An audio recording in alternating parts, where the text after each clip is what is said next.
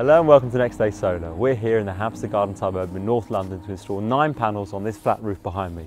Property's undergoing serious renovation. It's the perfect time to think about installing solar. As you can see, the sun's out, it's nice and bright. The sun's up there, it's going to move around there through the day. The property's got this wonderful flat roof that's just been redone it's an opportune moment. If you've got a property and you're renovating, or if you have a flat roof like all the houses along this road, please do think about solar. It's a way of helping us make our future a little bit greener, a little bit cleaner. If we can reduce the energy consumption that we need from the grid, the grid have to build less power stations, they have to burn less fossil fuels, and we have a chance of trying to improve the future for us and our children. Thank you so much.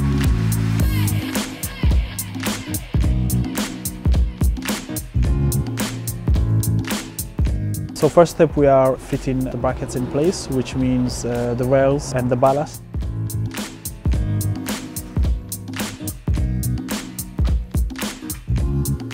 and once uh, that is done and uh, what we're going to do is uh, we're going to take the panels uh, one by one somewhere not shaded and direct to the uh, sun and we're going to test the panels to the standard of the manufacturer.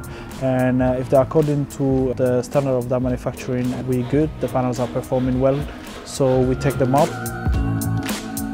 So what we do next is we fit the panels on the brackets and uh, we clamp it. And once that is done and we interconnect the panels in between them which means connecting them in a series in this occasion. And uh, once that is done we fit the windshields on the side and job is done. And the cable required and uh, prior to installing the panels here is a uh, steel arm uh, 4 mil cable, two core, because here we're having a single uh, string and that is going down to where we're going to be fitting the inverter, which in this case is in a utility room. And also we will need to have a cable that is going to run from uh, the utility room all the way down to the main fuse board and that is uh, all the way down uh, the garage level uh, in this property.